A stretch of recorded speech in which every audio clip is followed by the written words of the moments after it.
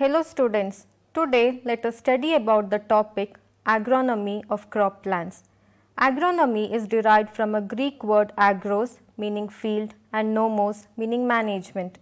Principles of agronomy deal with the scientific facts in relations to environment in which crops are produced.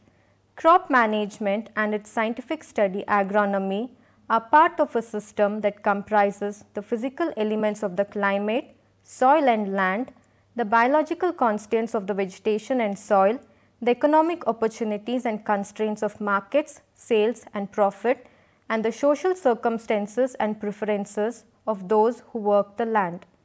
The emphasis of agronomy is now more towards the scientific study of the behavior of plant under the different environmental conditions like varying soils and climate, irrigation and fertilization by conducting well laid out experiments in the fields, pots and laboratories. It also involves the application of research in the field or forming suitable package of practices under a given set of conditions. Hence, in this episode, the following aspects are going to be emphasized. They are classification of crop plants, agroclimatic zones, relation of agronomy to other sciences, crop protection and scope of agronomy. Let us study the aspects one by one. The first aspect that is classification of crop plants.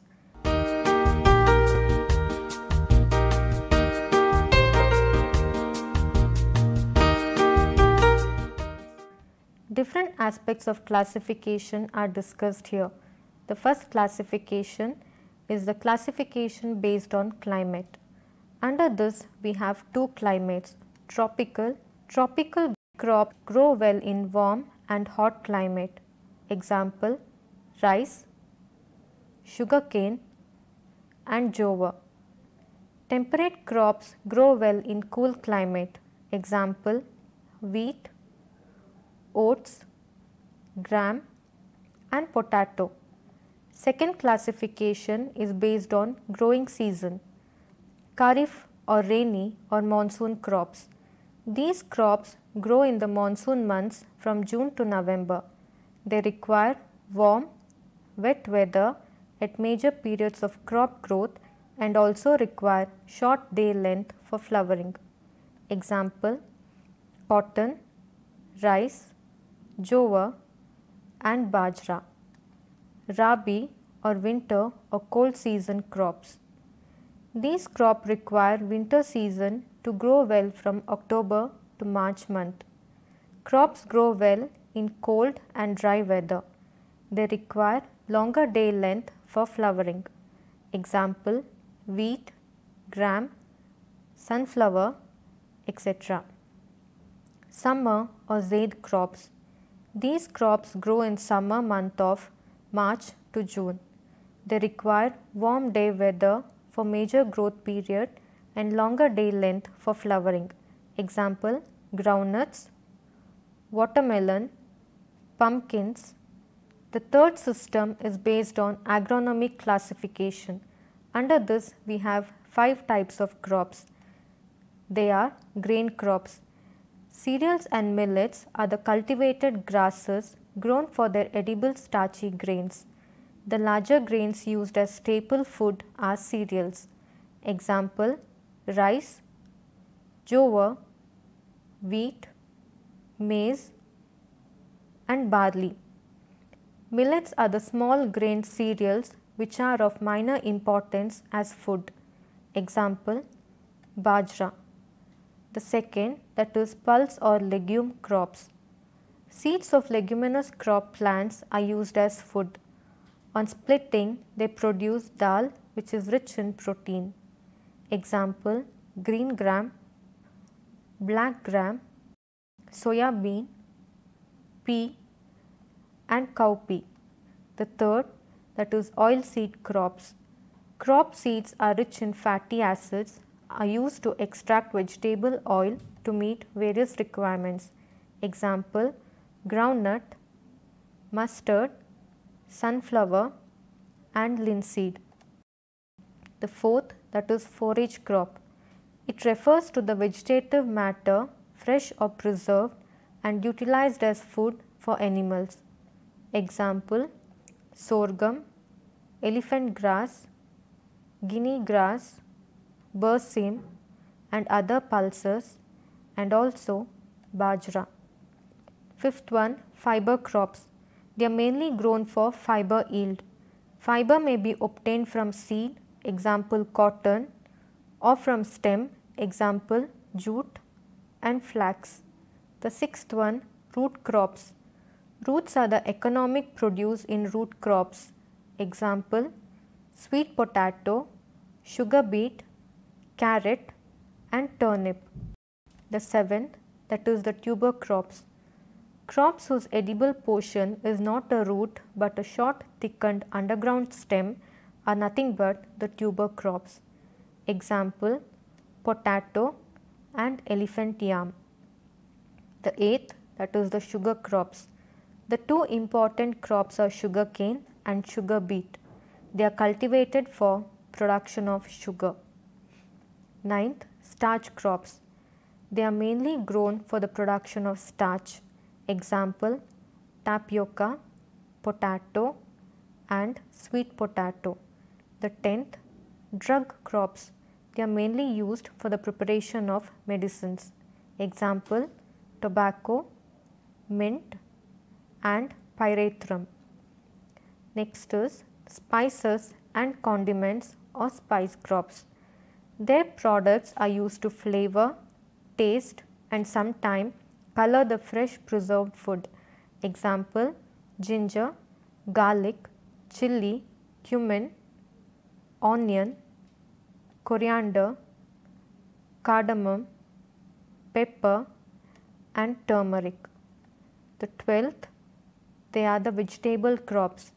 They may be leafy or fruity vegetables. Example, palak, brinjal and tomato. The thirteenth, green manure crops. They are grown and incorporated into soil to increase fertility of soil. Example, sun hemp. The 14th that is medicinal and aromatic crops. Medicinal plants include cinchona, opium which is nothing but poppy, senna, belladonna, rauvolfia, licorice and aromatic plants such as lemongrass, rose geranium, jasmine and henna. The fourth classification is based on life of crops. Under this we have five types. Seasonal crops. A crop completes its life cycle in one season that is Kharif, Rabi or summer. Example rice, jowar and wheat. Two seasonal crops. The crops complete its life cycle in two seasons. Example cotton, turmeric and ginger.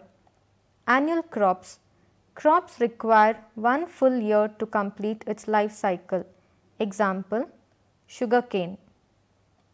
Biennial crops. These crops grow in one year and flowers, fructifies and perishes in the next year.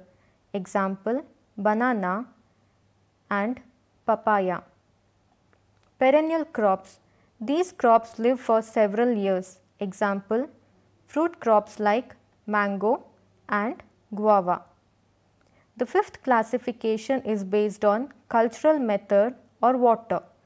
Under this there are two types. The first that is rain fed. The crops grow only on rain water. Example jowar, bajra, etc. Irrigated crops. These crops grow with the help of irrigation water. Example chili, sugarcane, banana and papaya. The sixth classification is based on root system. Under this, the crops are classified based on two types of root system. They are tap root system and adventitious or fiber root system. Under tap root system, the main root goes deep into the soil. Example, grape, and cotton. Under adventitious or fiber root system, the roots are fibrous, shallow and spreading into the soil. Example, cereal crops, wheat and rice. The seventh classification is based on economic importance. Two types of crops can be seen here. They are cash crops and food crops. Cash crops are grown for mainly earning money. Example, sugarcane and cotton. Food crops are grown for raising food grain for the population and fodder for cattle. Example, jowar, wheat and rice. The eighth classification is based on number of cotyledons. Monocots. The monocots or monocotyledons are the crops having one cotyledon in the seed. Example, all cereals and millets. Dicots. The dicots or dicotyledonous crops are the crops having two cotyledons in the seed. Example, legumes and pulses.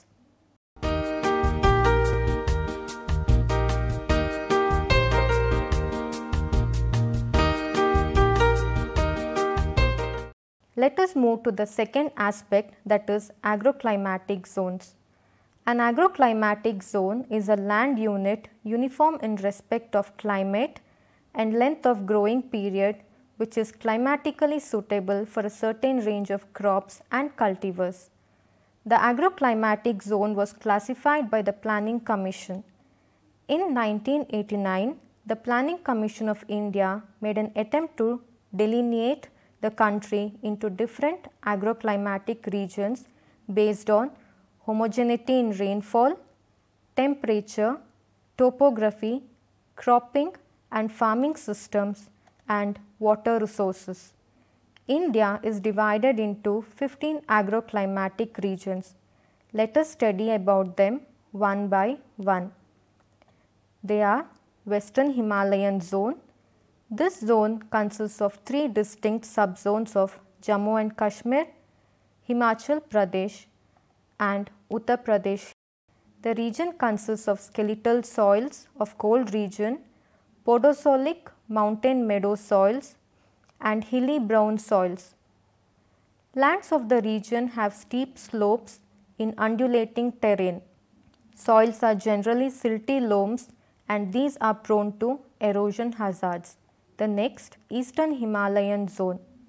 Sikkim and Darjeeling Hills, Arunachal Pradesh Meghalaya, Nagaland, Manipur, Tripura, Mizoram, Assam, Jalpaiguri and Cooch Behar districts of West Bengal fall under this region with high rainfall and high forest cover. Shifting cultivation is practiced in nearly one third of the cultivated area. The next lower Gangetic Plain zone. This zone consists of West Bengal, lower Gangetic Plain region, the soils are mostly alluvial and are prone to floods. The next, middle Gangetic Plain zone. This consists of 12 districts of eastern Uttar Pradesh and 27 districts of Bihar plains. This zone has a geographical area of 16 million hectares and the rainfall is high. About 39 percent of gross cropped area is irrigated and the cropping intensity is 142 percent. The next upper Gangetic plain zone. This zone consists of 32 districts of Uttar Pradesh. Irrigation is through canals and tube wells. A good potential for exploitation of groundwater exists. The next Trans-Gangetic Plain Zone. This zone consists of Punjab, Haryana, Union Territories of Delhi and Sri Ganganagar district of Rajasthan. The major characteristics of this area are highest net sown area, it is the highest irrigated area, high cropping intensity and high groundwater utilization. The next eastern plateau and hills zone. This zone consists of eastern part of Madhya Pradesh southern part of West Bengal and most of inland Odisha. The soils are shallow and medium in depth and the topography is undulating with a slope of 1 to 10 percent. Irrigation is through tanks and tube wells. The next central plateau and hills zone. This zone comprises of 46 districts of Madhya Pradesh, part of Uttar Pradesh and Rajasthan. The topography is highly variable that is nearly one third of the land is not available for cultivation. Irrigation and cropping intensity are low. 75% of the area is rain fed grown with low value cereal crops. The next Western Plateau and Hills Zone. This zone comprises the major part of Maharashtra, parts of Madhya Pradesh and one district of Rajasthan. The average rainfall of the zone is 904 millimeter. The net sown area is 65 percent and the forest occupy 11 percent. The irrigated area is only 12.4 percent with canals being the main source. The next East Coast Plains and Hills Zone. This zone comprises of east coast of Tamil Nadu, Andhra Pradesh and Odisha. Soils are mainly alluvial and coastal sands. Irrigation is through canals and tanks. The next zone, West Coast Plains and Ghat Zone. This zone comprises west coast of Tamil Nadu, Kerala, Karnataka, Maharashtra and Goa with a variety of crop patterns, rainfall and soil types. The next that is Gujarat Plains and Hills Zone. This zone consists of 19 districts of Gujarat. This zone is arid with low rainfall in most parts and only 32.5 percent of the area is irrigated largely through wells and tube wells. The next that is the western dry zone. This zone comprises 9 districts of Rajasthan and is characterized by hot sandy desert, erratic rainfall, high evaporation and scanty vegetation. The groundwater is deep and often brackish. The next that is the island zone. This zone covers the island territories of Andaman and Nicobar and Lakshadweep which are typically equatorial with rainfall of 3000 millimeter spread over 8 to 9 months. It is largely a forest zone with undulated lands.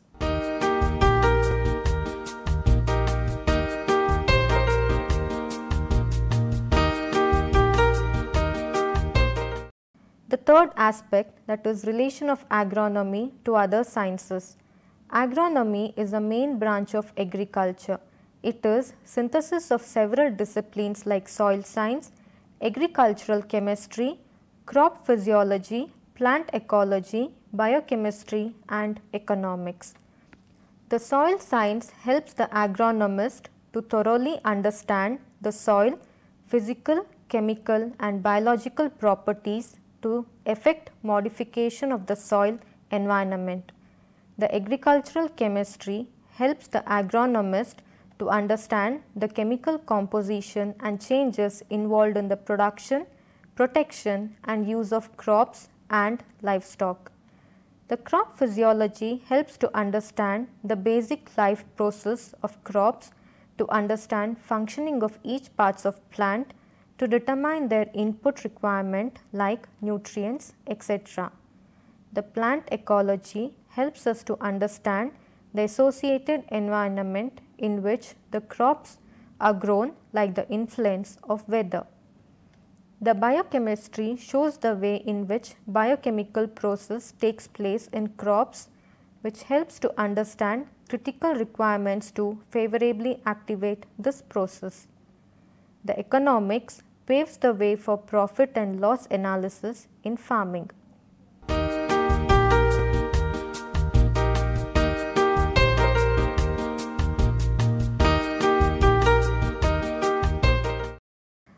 Moving on to the fourth aspect that is crop protection. For a sustained food production in the world, protection of crop is highly important. Though there are many chemical products that are available for the crop protection, the change they face is truly commendable. There are nearly 30,000 species of weeds, 10,000 species of plant eating insects and 3000 species of nematodes which the products made for protecting crops need to fight. This can give you a fair assessment of the amount of research and effort that goes into the designing of crop protection methods and products. Crops can be protected by the following ways by using pesticides. Pesticides are biological or chemical agent that discourage the growth of pests or kills and incapacitates them. The types of pests targeted by this type of product are plant pathogens, insects, mollusks, weeds, mammals, roundworms, microbes and birds. These types of pests usually destroy the crops, spread disease in the crops, destroy property or simply cause nuisance. Despite its many benefits, there are some drawbacks of using pesticides and the most prominent of those is their potential toxicity to the animals and humans. They are considered as a major pollutant in the environment, thus responsible for disturbing the ecological harmony of the planet. Crops can be protected by biological pest control. Another effective way of crop protection is the use of biological pest control. This is a method in which other living organisms are used for the protection of crop from various threats. These threats include mites, plant diseases, weeds and insects. The basic of this method relies on many types of natural mechanisms like herbivore, parasitism, predation, etc. However, this type of method also needs active participation of human management for proper implementation. There are integrated pest management programs that are built upon this type of pest control method. Crops can also be protected using biotechnology. By the use of biotechnology, one can use organisms and living systems to make or develop products that are useful for crop protection. Different forms of biotechnology has been used in many ways for the past many years by humans for getting better results in agriculture and improving the food production. By using biotechnology products, farmers can increase their crop yield and it also helps in reducing the vulnerability of crops to various stresses usually caused by the environment. However, biotechnology helps in the increase of nutritional qualities of the food product and also enhances its appearance, texture or taste.